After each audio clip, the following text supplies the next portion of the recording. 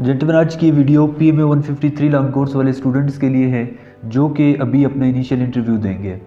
बहुत से बच्चे इंटरव्यू तो 153 fifty P M long course का दे रहे हैं, लेकिन उनको ये लग रहा है कि हमारा interview 143 P M long course 144 P M long course वाले उस कोर्सेज़ की तरह होगा, लेकिन अभी ऐसा नहीं है। पहले तो आपसे इंटरव्यू में सिर्फ़ सिंपल इंट्रोडक्शन पूछ के आपको फारिग कर देते थे हाँ जी आप पास हैं, लेकिन अभी ऐसे नहीं होता।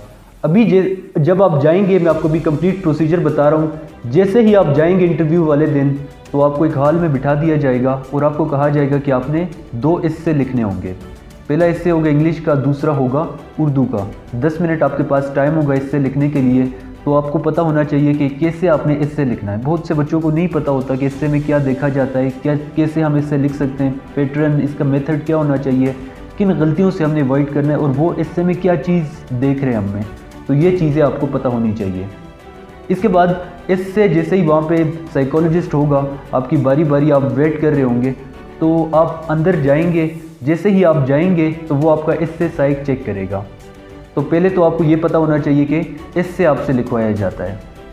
इंटरव्यू में इससे से भी पहले फ़िज़िकल के बाद आपसे एक फॉर्म फिल किया जाता है। फॉर्म में कुछ चेंजेस हैं, जो कि आपको पता होना चाहिए। अभी एक फॉर्म आ गया जिसको कहा जाता है साइकोलॉजिकल फॉर्म उसमें बहुत से सवाल पूछे जाते हैं जो कि आपकी साइकोलॉजी से रिलेटेड होते हैं, जो कि आपकी नफ्सियात से रिलेटेड होते हैं, माहिर नफ्सियात बैठा होता है इंटरव्यू में, वो वो सवाल जो आपसे पूछे जाते हैं, उसका रिस्पॉन्स चेक करता है कि इस बच्चे ने कैसा रिस्पॉन्स दिया है। तो ये भी आपको पता होना चाहिए इंटरव्यू में जाने से पहले। पिछले कोर्सेज में ये नहीं होता था साइकोलॉजिकल फॉर्म अभी ये भी ऐड कर दिया है।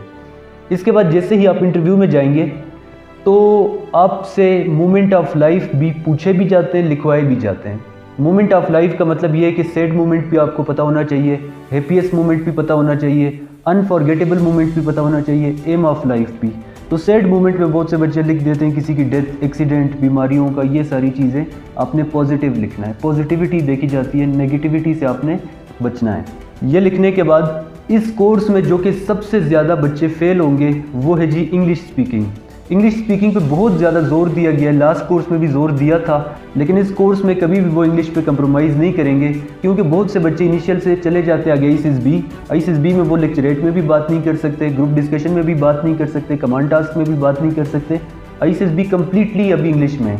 तो इस कोर्स में इनिशियल इंटरव्यू में जिसकी इंग्लिश स्पीकिंग अच्छी नहीं है, वो बच्चा कभी भी पास नहीं हो सकता। लिहाजा ये जो चेंज आया है इंग्लिश स्पीकिंग का, इस पर भी आपने अभी से फोकस करना है। आपको टॉपिक दिया जाता है इंटरव्यू में कि कोई भी टॉपिक हो सकता है, आपने इस पर बात करनी है तो उसका भी आपको पता होना चाहिए। अभी से ही तैयारी स्टार्ट कर दें। ये भी पता होना चाहिए आपको कि कौन से टॉपिक्स रिपीट हो रहे हैं। बच्चे जनरल टॉपिक्स तैयार करते हैं वो आगे इंटरव्यू में आते नहीं है। इससे के लिए टॉपिक्स आपको पता होना चाहिए। हम आपको वो टॉपिक्स देंगे जो कि आपके इससे में भी रिपीट होते हैं लास्ट कोर्सेज में, इस कोर्स में भी आएँगे। स्पीकिंग के भी हम आपको टॉपिक्स वो ही देंगे जो कि लास्ट कोर्स में भी रिपीट हुए थे, इस कोर्स में भी वो रिपीट होंगे।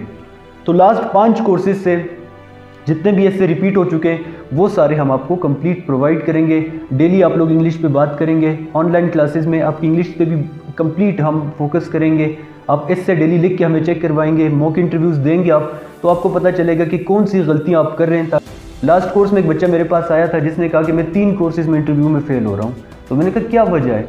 तो उसका जब मैंने इंटरव्यू लिया वो आगे से इंटेग्रिटी का केस उस पर बन रहा था। जब उससे मैंने पूछा डीमेरिट तो उसने मुझे डीमेरिट्स वो बताए। तो मैंने उसे कहा कि आपका तो फेल होना बिल्कुल बनता है, क्योंकि आप डीमेरिट वो बता रहे हैं जो कि 14 लीडरशिप क्वालिटीज़ के अगेंस्ट आप जा रहे हैं।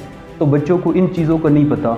इंट्रोडक्शन अच्छे से तैयार करें। मेरिट्स डीमेरिट्स जो हॉबीज़ लिखेंगे उससे रिलेटेड कौन से सवाल पूछेंगे, जो स्पोर्ट्स लिखेंगे उससे रिलेटेड कौन से सवाल पूछे जाएँगे आपसे, आपको ये पता होना चाहिए आपकी फेवरेट पर्सनालिटी कौन है? क्यों है वो आपकी फेवरेट पर्सनालिटी कि वो आपसे सवाल करेंगे कि हमें आपको क्यों सिलेक्ट करना चाहिए?